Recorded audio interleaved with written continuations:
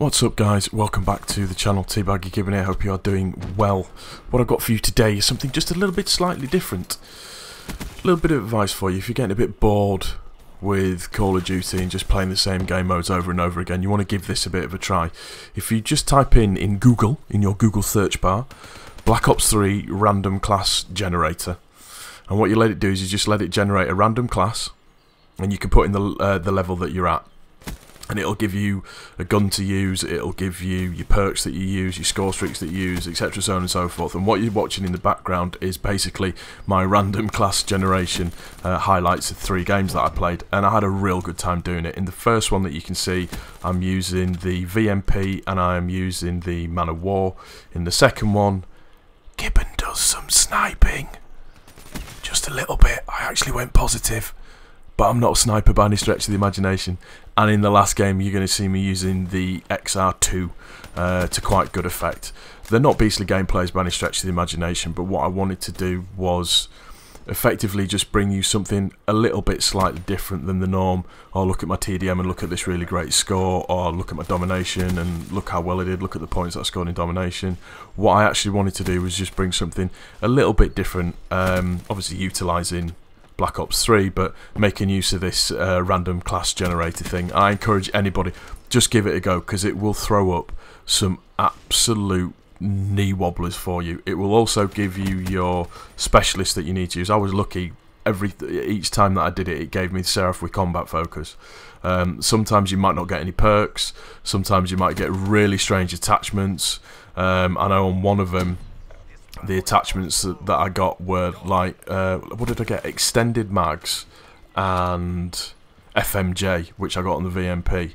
And oh dear God, if you haven't got stock on, a, I'm used to using stock on a weapon, and if you haven't got stock on a weapon, you do notice it, and it is quite brutal when you are trying to do it. Um, the maps that I do it on are, do you know? I can't remember what the first freaking map is that I do it on. It's one of the DLC maps, anyways. Uh, the second map is Spire, and the third map that I uh, do it on is Fringe. Fringe is one of my favourite maps, actually. It's one of my go-to maps. Uh, the reason that I thought that I'd give this a try, as I said, you can get a bit stale. And I think one of the problems that I've had with Black Ops 3 recently is that I've found that it's been getting just a little bit stale. So I wanted to try something a little bit different.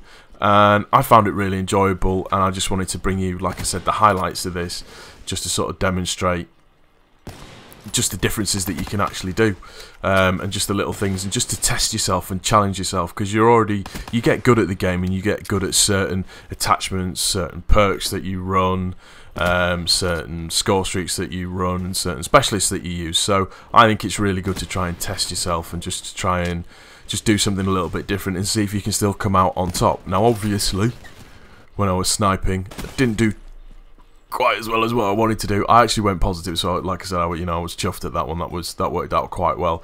But I managed to come in at least the top three using these absolutely ridiculous classes. You get stupid stuff like um, uh, like a, an SMG with a Varix on it.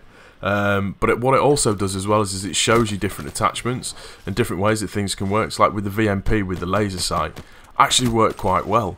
Uh, I did try another game on uh, Redwood as well. That one I had the Dingo. What was what was the attachments? Extended extended mag and suppressor.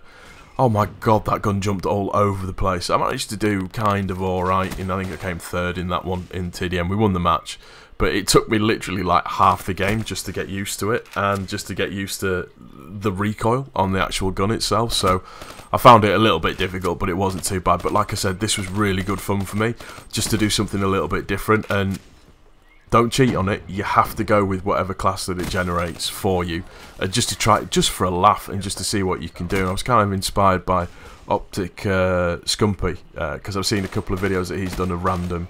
He's entitled them random, and just seeing him go attack. He actually nearly did his 70 TDM challenge using the dingo with the laser sight and quick draw, which was just hilarious to watch. The score streaks that it gives you are absolutely mental. It's like it gave me um, the sniper rifle. Uh, with uh, with the MR6, I think it is, and it gave me UAV, Dart, and GI unit. And I was just thinking to myself, right, I might get a UAV if I'm lucky, I'm definitely not going to get no doubt on that. I can definitely tell you now that I won't get no doubt on it. But um, the other nice thing that I found out as well was that I actually started to enjoy using the XR2. Now, I'm not a massive, huge fan of burst rifles. Um, I tend to find that I play a little bit more, well, a hell of a lot more passively with burst rifles because just because of the way that they fire, I'm very much a run and gun type of person, so I tend to find that using uh, SMGs or, or assault rifles, particularly if you've got stock and quick draw on them, a little bit better for me. Um, automatic firing uh, assault rifles, that is. Whereas with the burst rifles, not quite as good. But I played two games with the XR2 setup, and I think in one game I got 33 and 10, and I think in the second one I got 27 and 5. So that's not too bad at all. Anyways, guys, like I said, check it out. Type into the Google search bar Black Ops 3 Random Class Generation, and you've got to go with what it tells you to do, and just have some fun with it. It's nice just to change from the norm and break things up a little bit. That's going to do it for this video, guys. I do hope you've enjoyed it. If you have, please don't forget to click that like button. If you are new to my channel, please also don't forget to subscribe. Thank you ever so much for stopping by. And this has been OG Gibbon, and we are out of here. Peace!